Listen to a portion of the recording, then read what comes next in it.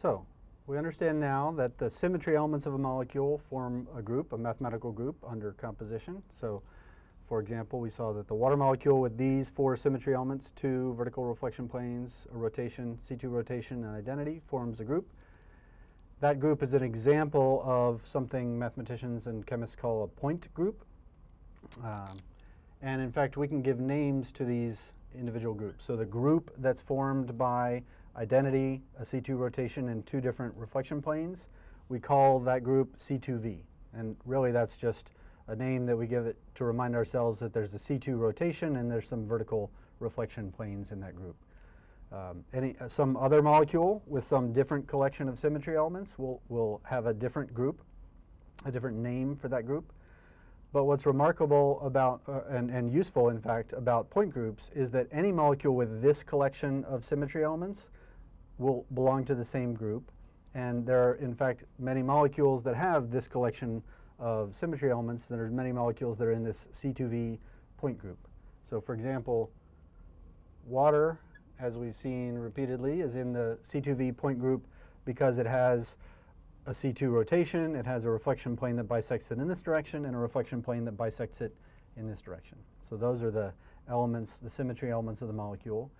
Any other molecule uh, with the same geometry we'll certainly have the same point group. And it doesn't matter if the bond angles and bond lengths are the same. Any other bent molecule, for example, sulfur dioxide, which I'll draw, I could draw with a double bond and a single bond, but to emphasize the fact that it's symmetric, I'll draw the resonance structures like that.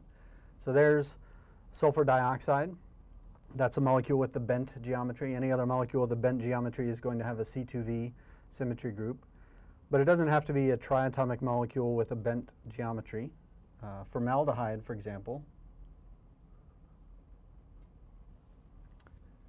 you can see perhaps after I've drawn the, the three-dimensional structure, also is in the C2V point group. It has a C2 rotation along the carbonyl bond axis. It has the same two vertical reflection planes, one in the plane of the board, one bisecting the molecule in half in this direction. So it has the same symmetry elements. It will be in the same point group. And even more surprisingly, there's some other molecules that are in the C2V point group. So sulfur hexafluoride, for example, which I'll draw with its three-dimensional geometry in this sawhorse or T-shaped, uh, sorry, sawhorse geometry. This is also C2V. Again, there's a twofold rotation. Here's the, the same C2 axis of rotation. There's a symmetry, a reflection plane in the plane of the board. There's a reflection plane that bisects the molecule this way, and those are the only symmetry elements we can find for this molecule. So all of these four molecules and many others are in the C2V point group, even though they don't look like they have very much in common at all. But because uh, of the symmetry of the molecules, because they have very similar, identical symmetries, many of the properties of the molecules are related. For example, the, the shapes and symmetries of their molecular orbitals are similar in many ways. The different vibrational modes that they have or can undergo uh, have some connections to each other. The polarity of the molecule uh, is, uh, has some similarity because of the, the um, what point group they're in the spectroscopy of the molecule, what frequencies of light they can or can't absorb to change which uh, quantum mechanical states. There's similarities in, in all those properties that we can predict knowing the point group of the molecule, even though the, the geometry of the molecule at first glance doesn't look terribly similar. So what that means is it's very important, very useful to be able to predict the point group of a molecule by finding the symmetry elements and then identifying what that point group is. So uh, to give you an idea of, of how that's done, I'll pull up a table here of uh, several different point groups. In fact, the list, the full list of all the point groups that molecules can have.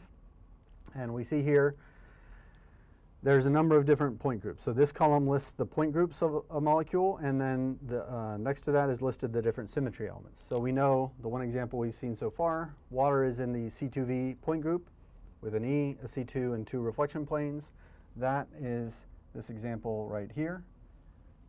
So a molecule with, if I say n equals 2, a molecule is in the CNV or the C2V point group if it has an identity, if it has a CN or a C2 rotation axis, if it has n or two different sigma v reflection planes. So if we've determined the symmetry elements of water to be E, C2, and 2 C, uh, sigma Vs, then we've discovered that it's in the C2V point group. If we write down another molecule and we find that it has some different list of symmetry elements, then we can name the point group of that molecule.